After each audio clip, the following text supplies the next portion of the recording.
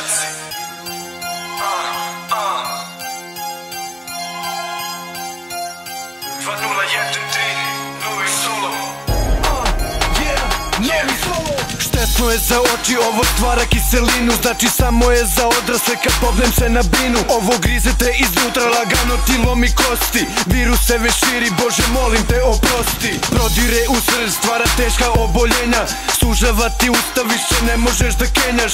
Otvara ti uši da bi više još obolio. U epruveti recept zlo, kako se to stvorilo? Biologija i hemija, strašna epidemija. Prebrzo se širi stvar, ubistva nova serija. I niko ne zna uzrok, sve je više invalida. MC-evi su nepokretni, ostaju bez vida Hendikepirana masa sada ostaje bez glasa. Vi ste izumrla rasa, u rukavu nema asa. Ovaj virus se talasa, meni puni se još kasa. Da li osjećaš moj dodir preko snerova i basa? Preduboko, previsoko, preširoko idem.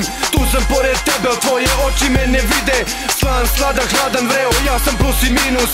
Neprebojno staklo, artiljerija i virus. Preduboko, previsoko, preširoko idem.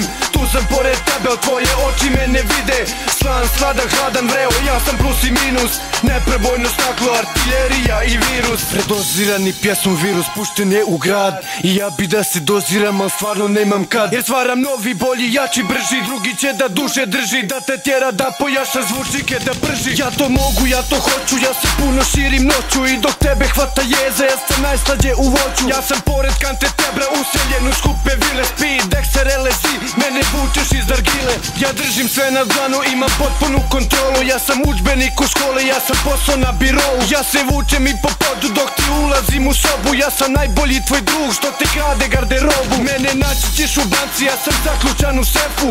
Privremeno tu sam, ali uskoro u tvom džepu.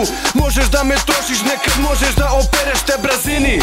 O meni možeš još da sereš. Preduboko, previsoko, preširoko idem. Tu sam pored tebe, tvoje oči me ne vide Slan, sladan, hladan, vreo, ja sam plus i minus. Neprebojno staklo, artiljerija i virus.